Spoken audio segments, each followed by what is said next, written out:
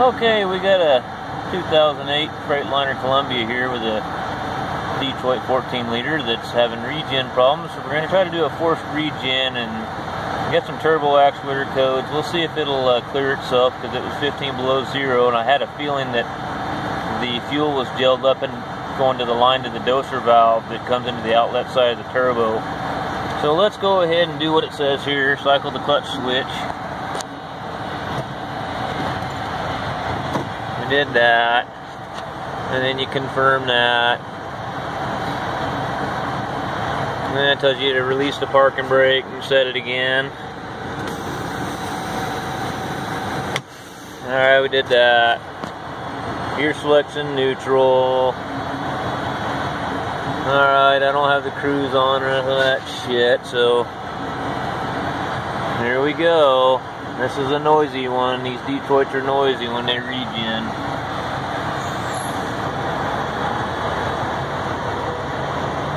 See our diesel oxidation catalyst temperature here is 300 degrees. We want that at our target temperature of 940 usually around 900 to 1,000 degrees what you want to see when you're regenning.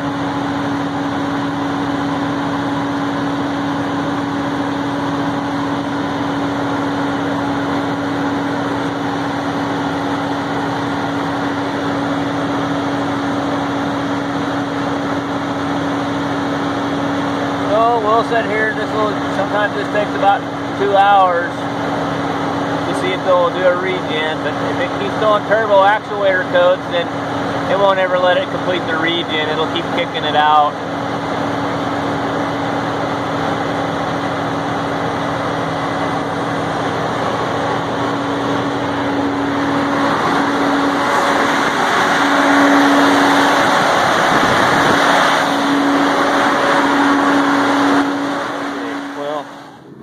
So, what happened on this thing was that the actuator motor, which is over here, took it off. And it's pretty much, if you got a Dodge Cummins in your pickup, a 6.7 with a variable geometry turbo. Uh,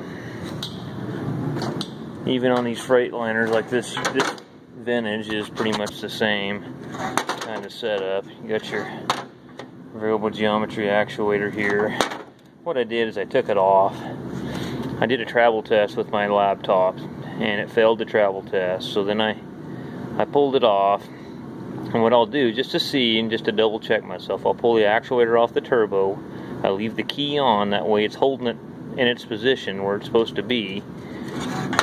And then I'll take a paint marker and I'll mark the gear and then I'll mark the uh, housing.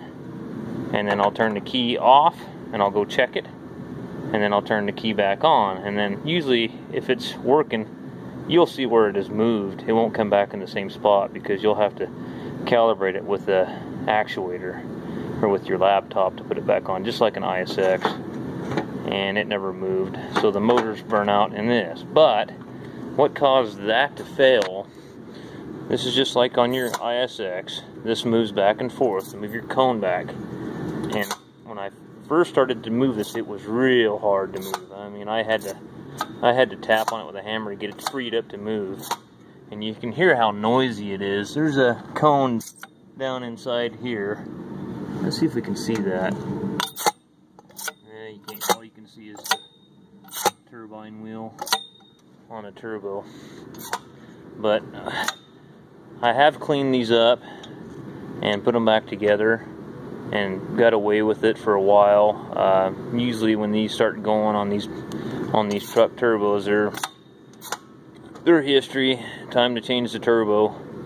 So I got a guy uh, over in Medford right now picking up a turbo, 3,000 bucks, and he's on his way back, and we're gonna reinstall the turbo tonight and fire this thing back up and do a forced regen and see if we can get him back on the road. So that's the update on this. I'll uh, be back with you in the next segment when we're uh, hopefully pulling her out of the shop.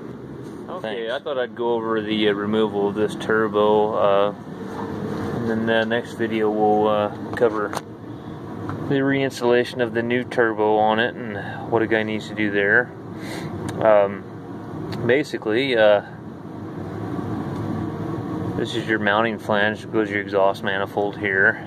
Here's your coolant lines, feeds your actuator and your turbo. It's water cooled turbo, and the actuator is water cooled too.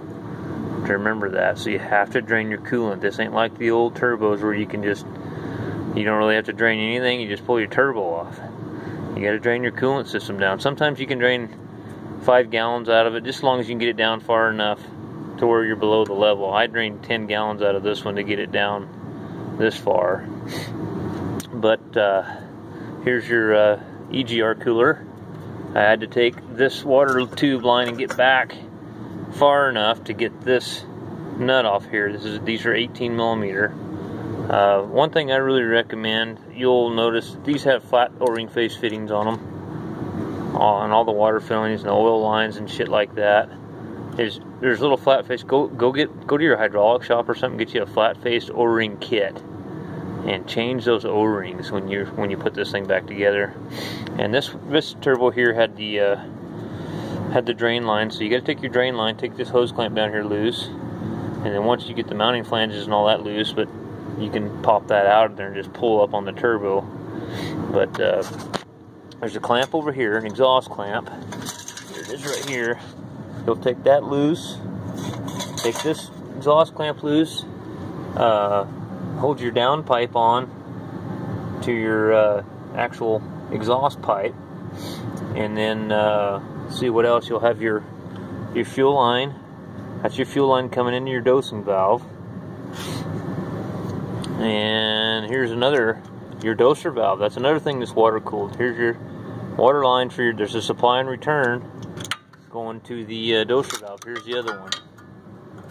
You'll have to take both of those off. And all these are flat faced O-ring. And see what else is there. Basically just take all the lines off. I mean, they're kind of hard to get to. You'll have to get a, nine, I got a 9 inch extension and an 18 millimeter. And I got my cordless impact in here you can, I've done them with a half inch drive ratchet too. You can get these bottom, you'll have to come up through the bottom, you know, if you got a Freightliner, but if you got a, if you got an extended hood Pete, let's see, I'm trying to think, can you get a Detroit in an extended hood Pete anymore? Yeah, I think you can, so, I don't know, things over the years have changed so much with the truck industry that you can't, you used to be able to get a Cat Cummins or a Detroit and anything you wanted. Now they got the Paccar and they got the the Maxi Force International motor and a bunch of weird shit out anymore. So, um, let me see if there's anything else we can cover on the disassembly of this thing. Make sure you go easy with that, you know, breaking stuff loose. And if it feels like it's going to break, don't, you know, just keep working it or, you know, penetrating oil or something to get it loose. And the other thing, if you guys want to take your actuator off and you do have the software, be really, really careful with these bolts on these actuators because this one here, man, you can see where I had an air hammer and I was vibrating on it while I had tension on this. And I finally got it to where it would start turning in there. But what happens is this is a steel bolt and they go through this aluminum housing and they get electrolysis and then they basically weld themselves to the, the housing. I mean, it really wasn't stuck down here, it was stuck in the housing. So, but here's that 6 bolt flange. I take that off after I take the uh, turbo out.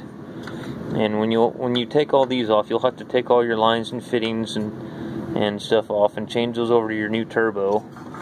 Um, see now, this Detroit turbo is coming with the actuator. The ISXs don't come with the actuator. All the ones that I've got came, you had to buy an actuator separately and then you know had to cal you had to do the installation procedure where it holds it in place, and then you put it on and do the calibrate travel tests, and and then away it goes. But uh, get you this six bolt flange or the downpipe uh, hooks up to your turbo hot housing. Uh, it should your your new turbo will come with the uh, temperature sensor yeah, that's a temperature sensor, and uh, it'll come with your turbine speed sensor already in it. Here's your turbine speed sensor right here. And you'll have to take your drain line off, and you'll take both of these fittings off the bottom too, and swap those over to your new turbo. Uh, the heat shield, it'll be on there. Um, here's your dosing valve right here. That's your doser valve. It's pretty much set up like a like the 08s, 09s ISXs. Now the 08s and 089 ISXs, they had a little dowel right here that lined up with your hot housing. This doesn't. So I just know which way it goes, but if you can, if you want to, you can take a paint marker and mark it and clock it, but doesn't really do, do much good to clock it when you get a new turbo and you're putting it on a new turbo. So there's disassembly on that and shouldn't be too bad. So alright guys, well next video we'll show putting it back on there in the forced regen. Thanks.